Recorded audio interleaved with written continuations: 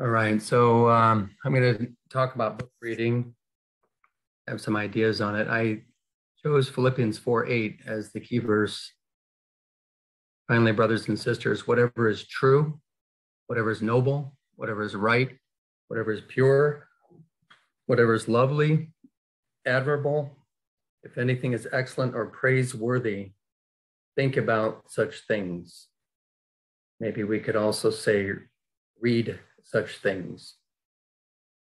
But whatever is true, noble, right, pure, lovely, admirable, excellent, or praiseworthy, I think that's also true of movies that we watch, music that we listen to.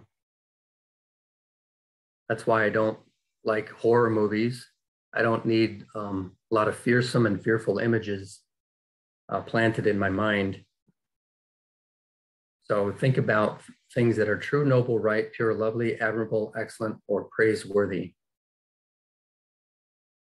So why should we read books? Well, there are probably many good reasons to read books. I just thought about a few. Reading books is good for our minds, to keep our minds fed and active and thinking and working and growing. Exercise, it's exercising our minds, just like we exercise our bodies. We need to exercise our minds, stretch them, um, exercise that muscle, brain, for good creativity and broadening our understanding of the world and of people and of ourselves and of God. Um, learning, inspiring, we can learn a lot of inspiring stories or good examples or illustrations through reading. But what should we read? Well, there are a lot of good things to read but I think it's good to consider when we're choosing what to read or thinking about what to read, what is our aim or goal personally? What are we what are we struggling with or wanting to expand our understanding or thinking of? And how the, how the reading can help in our own lives or ministries. And I think we want to learn from good, committed, fruitful or influential Christians. Um, good source, I think, to draw from. Reputable, well known, perhaps authors. So there's a UBF reading list that we started. It has 120 titles by 30 UBF coworkers who recommended in these various categories. We tried to categorize their books that they recommended in these kinds of categories apologetics and worldview. Biographies or great christians christian or church community christian life church history discipleship manhood spirituality evangelism gospel and bible holy spirit leadership marriage and relationships parenting pastoring prayer preaching spiritual formation spiritual warfare theology and world mission. So if you want a copy of this list. We're, we, we'll ma- we're making this list available to all our forum members today. And it's a partial list, it's incomplete. It's just 30 people's uh, opinion on what they've read that's been helpful for them. I'm sure you all have helpful books that you've read. Uh, one that stands out to me, probably talk about it later. Let's see if it's here. Is uh, The Five Love Languages. I'll mention that later, I think author. Who's the author? That's important when we're reading. We have to consider the author's worldview, philosophy, and background and theology. Uh, we shouldn't just read anything. And we need to beware of unorthodox or heretical authors that teach things that are contrary to the uh, sound Bible doctrine. Of course, you know, the Watchtower Society is Jehovah Witnesses. Um, they even have their own version of the Bible called the New World Translation. So if you get a hold of that translation, just throw it in the garbage. It's not um, it's not sound and it's not um, scholarly. It's according to their own. For example, John 1 1 is in the beginning was the Word, and the Word was with God, and the Word was a God. That's just bad uh, translation uh, because they don't accept Jesus as God and they don't accept the Trinity. Mary Baker Eddy, she's the founder of Christian Science, which is really weird if you get a hold of her book, um, Science of Mind and Health. Very strange, very um, abstract, um, and a lot of strange teachings there they have about death and illness not being real. Uh, I, I, don't. I wouldn't recommend reading Joel Osteen's um, "Your Best Life Now." Um, I don't like his preaching. I don't think it's it's gospel centered. Um, there's no take up your cross. There's no repentance. Jesus Seminar wrote the fifth gospel, I think they called it. The, they were skeptics, kind of um, the, theological skeptics about the Bible, saying most of the Bible is not really what Jesus said. The only thing he really said was our Father in heaven, and that's about it. I remember skimming through that one. Um, and other non-Christian writers you need to be beware of, so we're not influenced off the gospel track. Um, if if you uh, if you're trying to understand where somebody's coming from, that might be helpful. But in the past, I, as a young believer, I thought if I'm going to read anything from a non-Christian author, I need to read as many chapters of the Bible, or um, something by a Christian author. Biographies or autobiographies can be very encouraging and inspiring to learn of the struggles that famous people have gone through, many from very ordinary upbringings. Uh, let's see, I think I just went backward.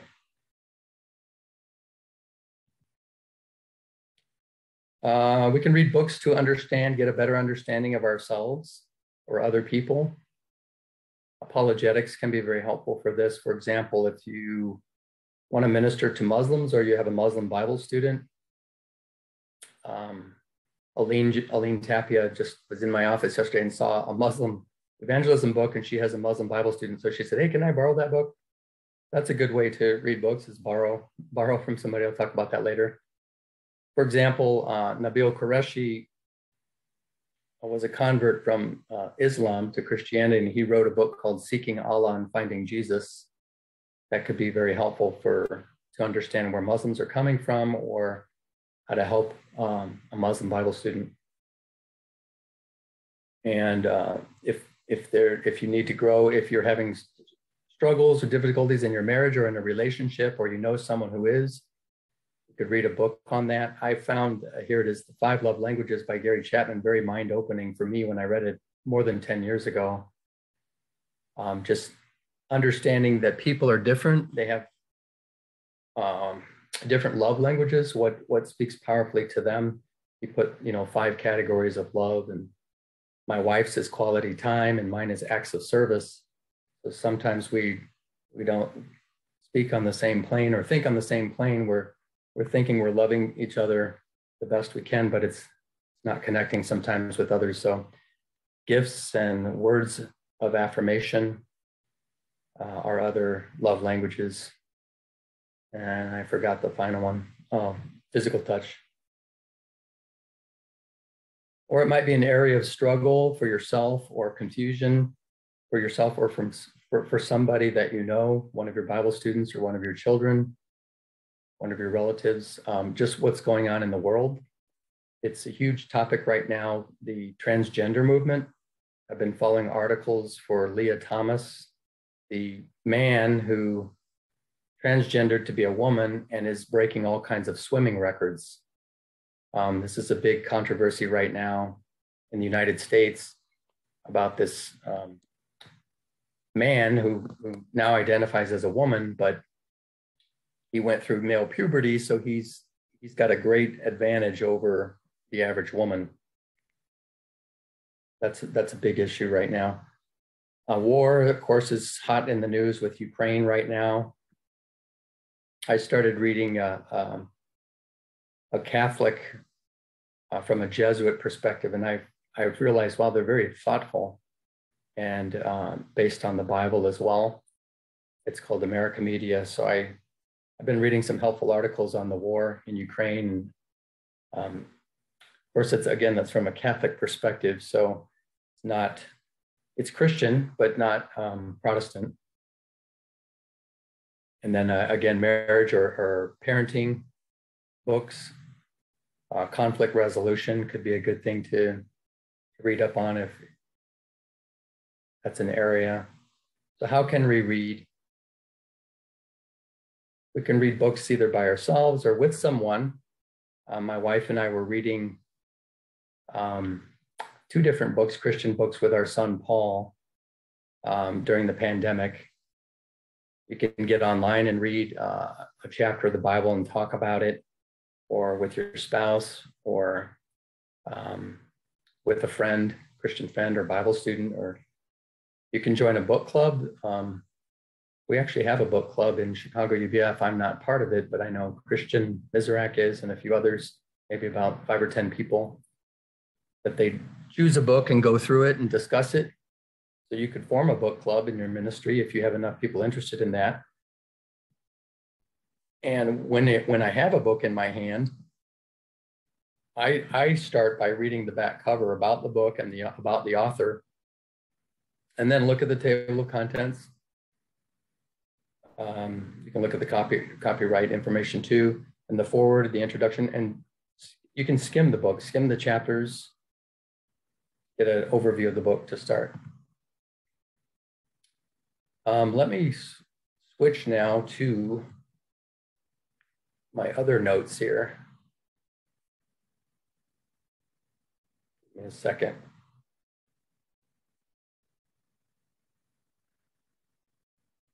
Wish I could, here we go. I'm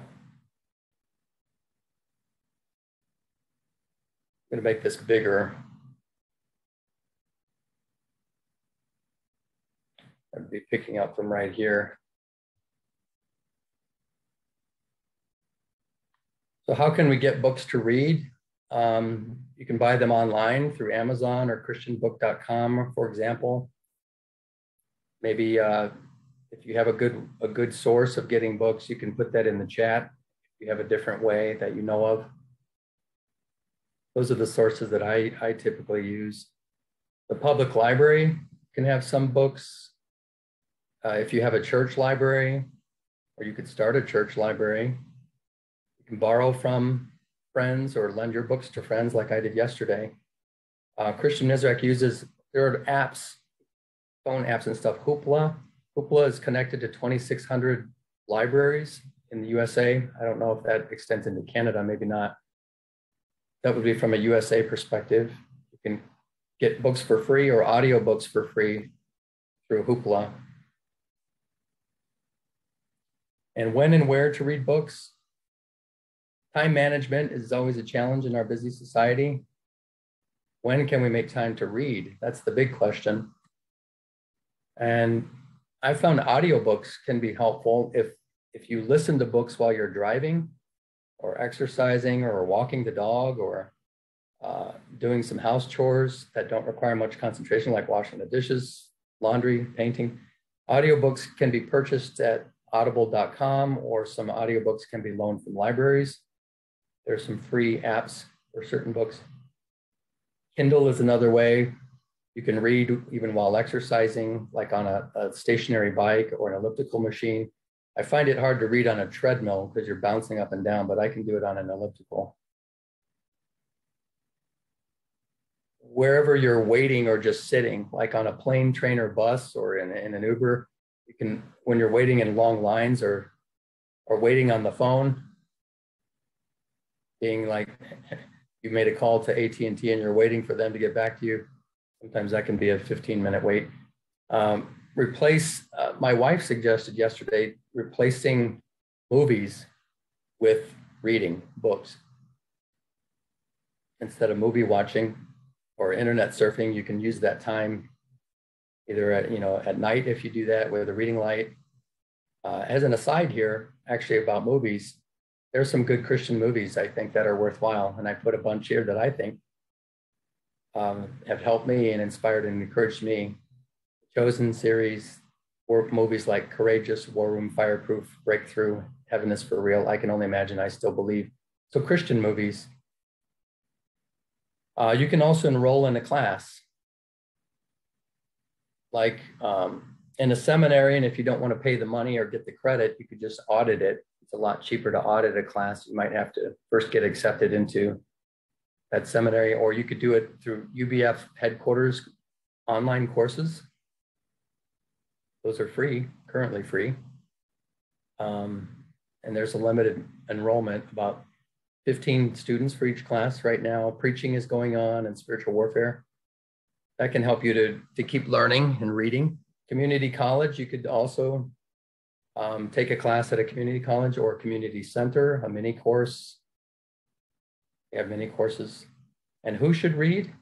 I think everybody who can read or who can listen to a book, we start reading to our children when they're little, they can hear and learn and listen. So everybody, um, basically you need to make time for it is the challenge. Um, one thing is you could make a goal to read one book a month, try to stick to that, or even better, have an accountability partner to go through a book with you. That can be helpful. That's my short talk on book reading. I'm sure if you have any suggestions on any of these things I've mentioned, put it in the chat for anybody else. If you have also suggestions of great books that have helped you or moved you, you can put that in the chat as well, or send an email to Augustine Saw or Ezra Cho, and we, uh, we can add it to the book list. I think those are the main things that I wanted to cover. Thanks.